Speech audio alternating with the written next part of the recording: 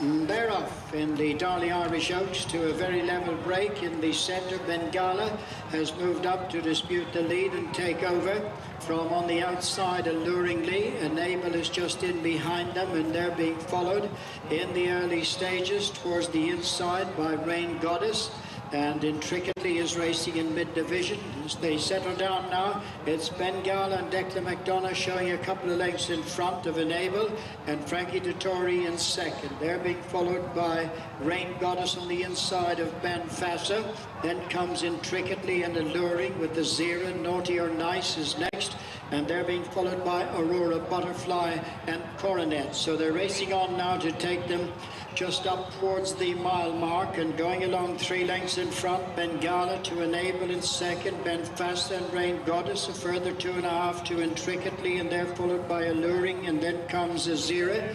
Naughty or Nice is next and these are followed towards the back of the field by Aurora Butterfly and Coronet is just the back marker. But there's little change as they begin the climb up now towards the six furlong mark, the top of the track, as Bengala blazes the trail for Declan McDonogh. The odds-on favourite Enable, the Epsom Heroine in second, and third is Bean Feasa, followed by Rain Goddess, intricately alluring Azira, Naughty or Nice, Aurora Butterfly and Coronet just about to make the descent to take them down towards the approach to the straight.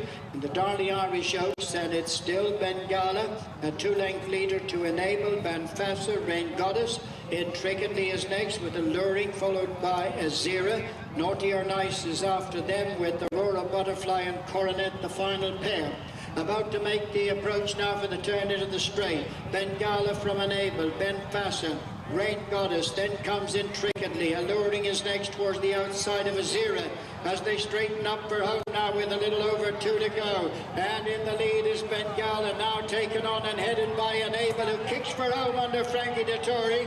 Rain Goddess trying to go after him. Azira stays on in the center with on the outside Alluring. Aurora Butterfly from the back. But it's Enable, the long odds on favor out in front of Rain Goddess. Azira stays on and then comes a Aurora Butterfly. But up towards the finish.